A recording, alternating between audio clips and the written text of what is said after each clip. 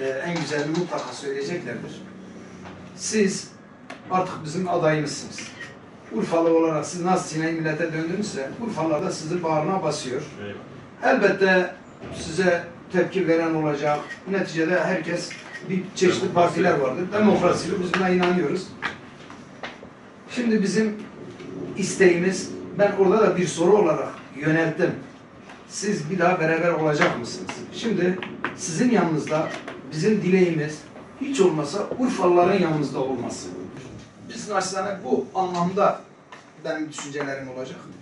bilgili, her branşta kariyer sahibi, memleketi iyi tanıyan, örf adetlerini bilen, en ucu ve köşelere kadar inebilen, vatandaşın nabzını yoklayan, böyle adamlar, arkadaşları tercih ederseniz bu sizin de başarınıza başarı katar. Başlık. e, büyük şehir olmak ne getirir ne götürür? Yani getirisi ve götürüsü nelerdir? Güvenlik döneminde yaptığınız çalışmalardan dolayı yaşayan biri olarak kutlarım. Dünyanın her yerinde Üstad Bediüzzaman yine buyuruyor diyor kimlikler noktasında diyor ancak levh-i mahfuz açılsın ki kim kimden bir olsun. Her şey her yerde karışmış. Dolayısıyla Urfa'da bunu bir şekil hangi dille olacaksa e, yabancı olmadığını, bölgenin tamamının zaten bir olduğunu, hatta birçok zaman belki geçmişte Urfa için, Maraş, Maraş için Urfa denildiğini. Çünkü hiçbir şey kadim yerinde değildir. Birçok yer bir şeyi birçok yani bunu bir dil ile izah edilmesi lazım. Bu konuda azımsanmayacak kadar ciddi sıkıntılar var. Bunun mutlaka izale edilmesi lazım. Mesela siz yaşlı başlı adamsınız. Biz kime oy verelim? Bunu herhangi bir şey için söylemiyorum. Benim herhangi bir şeyim yok. Bu beklentim haşa. Ama gerçekten bunu değerlendirmemiz lazım. Allah bize bir şans verdi. Ve bu, bunun şans olduğuna inanıyorum. hassasiyetleri gösteriyor. Biz de aynı hassasiyetleri paylaştığımızı e, her ortamda ifade ediyoruz. Biz buradayız. Halk bizi gerçekten tanıyor. Sizler tanıyorsunuz. ne yapmak istiyoruz? Nasıl bir adamız? İnancımız ne? Şehre yaklaşımımız ne? İnsana yaklaşımımız ne? Çevreye yaklaşımımız ne? Eğitime yaklaşımımız ne? Aşağı yukarı biliniyor. Çünkü e, bizim yönetim anlayışımızla takdir edersiniz ki hiçbir zaman klasik e, anlayışla uyuşmadı. Düşündüğümüzü söyledik, sorunları halının altına süpürmedik, üstümüze ne vazife demedik. İrili ufaklı, küçük büyük her türlü sorunla uğraştık. Şehirdeki bir sizler bilebilirsiniz. Çünkü aydınsınız, yazarsınız e, bir şekilde toplumdaki sorunlar size uzanır, iletilir. Ama Şanlıurfa'da ticaret yapan, çok siyasetle uğraşmayan, bilmem ne insan, sıradan bir insan, hayatını yaşayan, geçim derdinde olan bir insan, hatta üniversitede hoca, ne bileyim Şanlıurfa'da işte biriket yüzünden Akçakale'de iki evin arasında biriket kaldırdın kaldırmadın diye iki ailenin, iki komşunun, iki akrabanın 7-8 tane pompalı tüfekle birbirine ateş edip dört kişiyi öldürmesini bilmez, anlamaz. Bunun ne anlama geldiğini bilmez, bilemez. Bil, yani öyle bir şey çünkü belki bir yerde haber görür, "Aa, yazık etmişler falan dedi. Bir kenarda bir köşede haber olarak geçer o. Onun arkasında nasıl bir dram vardır?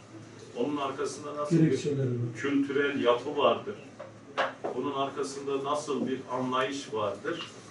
Bilmez, bilemez. Ha, onun doğurduğu sonuçları da bilemez. Öldürdüm, bundan sonra ne olacaktır? Bu nasıl çözülür? Bunun o bölgeye, o beldeye, o iki aile, iki aşiret arasına neler getirecektir, neler götürecektir? İnsanlar bilmez. Ha, normal bir vali de bilmez. Yani asayişte anlatır jandarma komutanı der ki falan dünkü bir olayda dört tane kadın rahmetli oldu. Evet, sanıkları bulduk. Aldık, adliyeye çıkarttık. Veya ikisi firar ama takip ediyoruz. Adliyeye çıkaracağız. Peki der, geçersin bir başka konuyu arz eder. Çünkü bir sürü konu vardır. Ama biz Allah'a şükrediyorum hiçbir zaman olaylara böyle yaklaşmayız.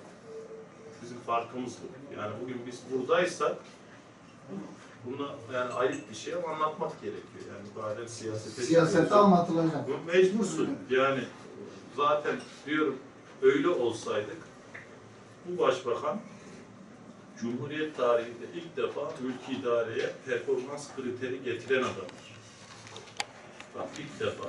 Bunu şimdiki eski Urfa valimiz Şahabettin Bey'in ağzından dinledim. Ben de yaşayarak, müsteşarken şunu anladım. Değişimi ve gelişimi göremiyor.